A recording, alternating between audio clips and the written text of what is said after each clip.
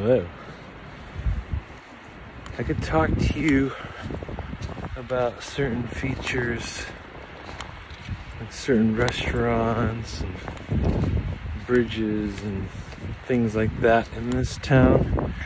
But instead, I'd rather focus on the isolation bit.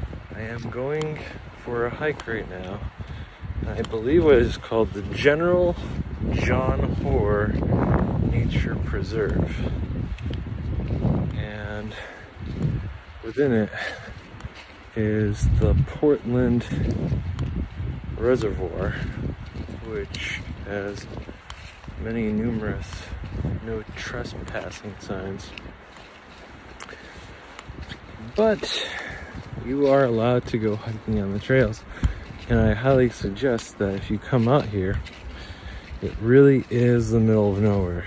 Um, that you use an app like AllTrails um, to kind of coincide with where you're going. And don't use Google Maps get here. It'll lead you down numerous dead end roads or roads that no longer exist that don't allow car traffic whatsoever any longer. So use something like, if you have an iPhone, Apple Maps or whatever. It's an interesting place. Um, I was just passing through. I just had this urge to want to go for like a two, three mile hike on this fine inauguration day, January 20th, 2021. Uh, hey, my birthday's coming up soon. I'm, I'm an old man. Forgive me for not remembering the dates, but I'm just doing this little loop here and uh, tell it's a little rough, but I kind of like it that way. There's nobody here. Um, really feels like I'm one with nature right now. I saw some fresh bear poop along the way, so I know they're close. Um, yeah, Portland. It's it's a great town. It's somewhat central to the state across the river from the illustrious Middletown. And Portland has a great reputation for having a really good bang for your buck in terms of housing and whatnot. Um, it's also got one of the oldest running hot eats, cool treats, Dairy Queens that I can think of off the top of my head.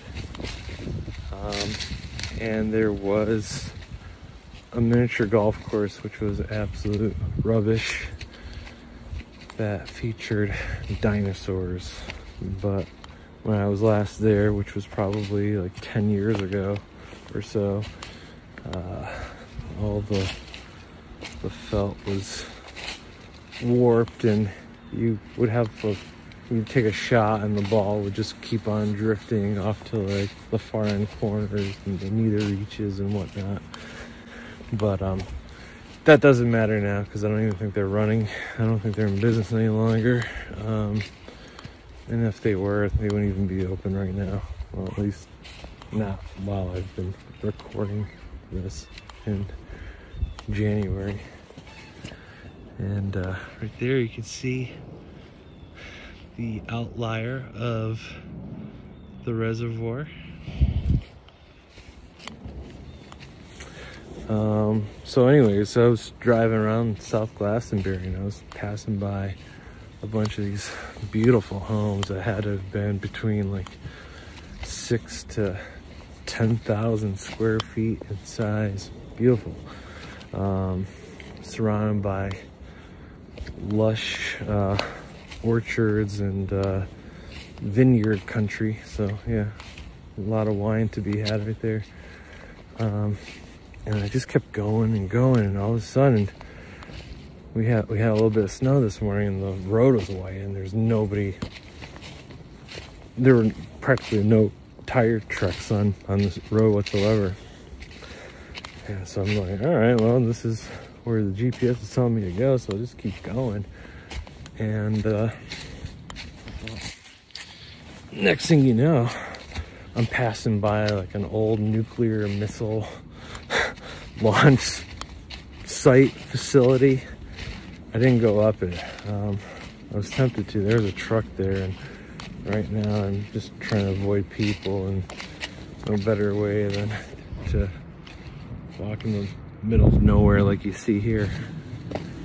So, um, let me figure out what the name. Oops, cut myself off there. Looking for stuff, but just a little absent-minded, like I said.